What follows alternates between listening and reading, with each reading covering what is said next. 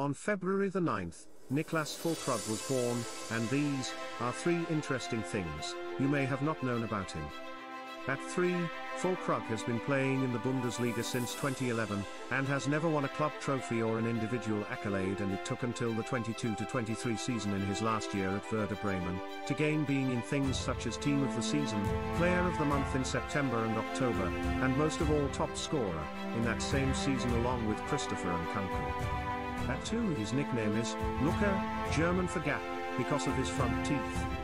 Finally, he belongs in a family of footballers as his sister, Annalena, who plays as a striker for Hannover 96, while his grandfather Gerd used to play for SV Arminia Hanover.